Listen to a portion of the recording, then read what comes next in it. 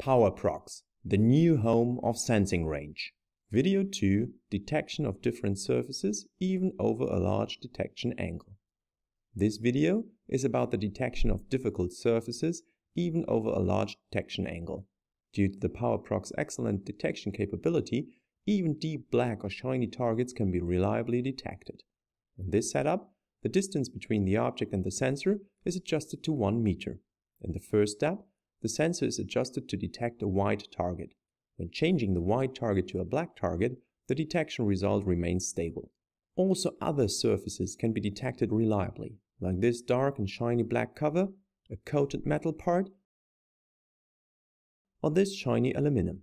But even over a large detection angle, many surfaces and objects can be easily detected even though a good portion of the light is reflected away from the sensor. We'll start again with a relatively easy to detect white target and turn this target away from the sensor. As you can see, the sensor still detects the object. Also, if the angled target is moved into the light beam, the sensor can reliably detect it. This works as well with a deep black target that has a very low remission.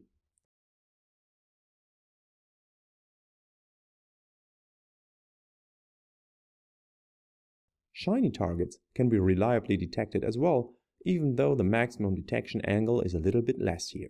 As you can see, PowerProx safely detects even critical targets, even when these targets have to be detected over a large detection angle.